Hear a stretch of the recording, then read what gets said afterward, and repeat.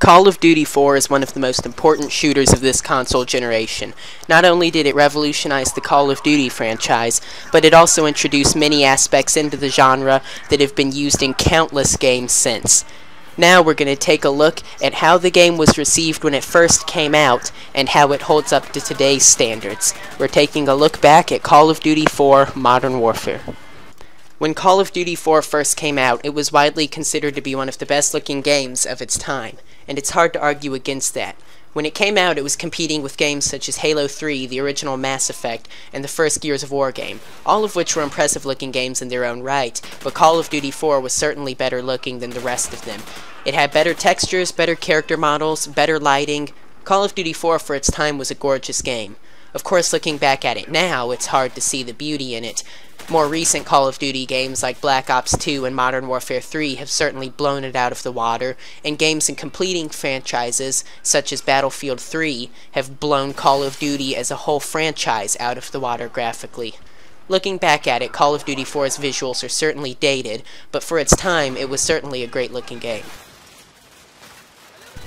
When Call of Duty 4 first came out, it was praised for more than just its graphics. It was also considered to have one of the better stories in the first-person genre at that time. Looking back, though, the story, while good, certainly isn't anything impressive by today's standards.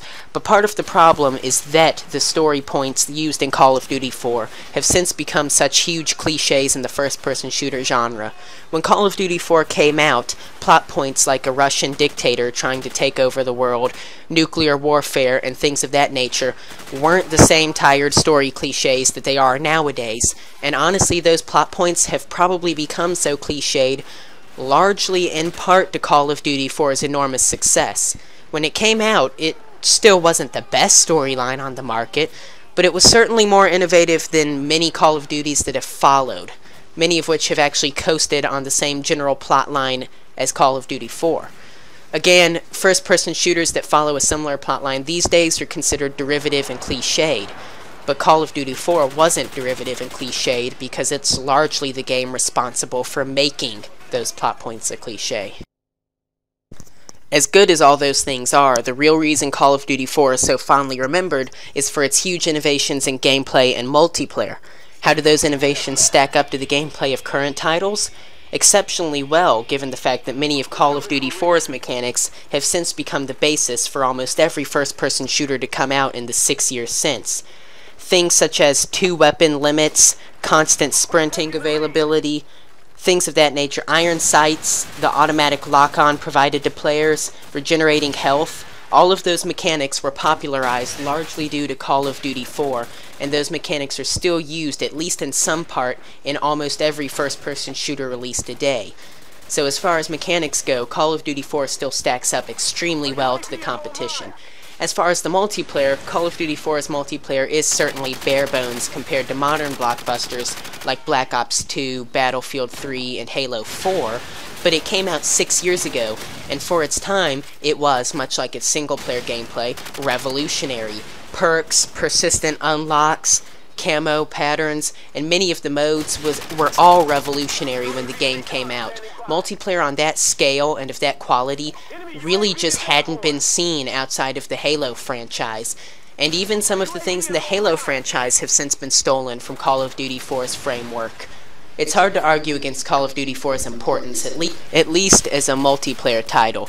Regardless of how you feel about the game on its own, its historical impact is hard to argue against. So, how does it stack up in comparison to the more recent entries in the franchise? Some might argue against me, but to be honest, I think Call of Duty 4 is one of the best in the franchise. My personal preference has always been to World at War, but COD 4 is still certainly one of the best.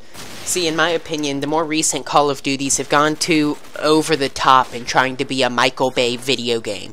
Call of Duty 4 still had its over the top set pieces, but it balanced them out with enough realistic levels to make the game seem believable.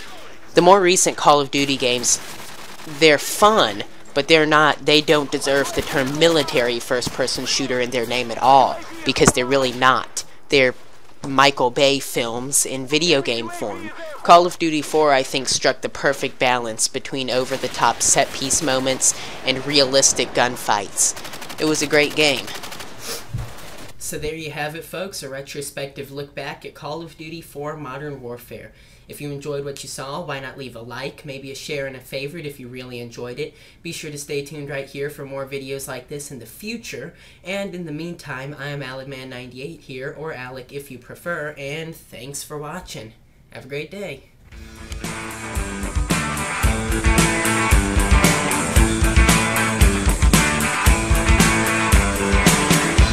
as the soft relentless melts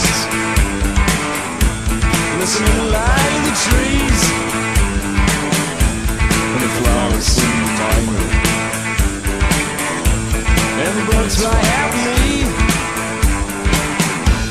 We're together once again, my love Back, oh baby, baby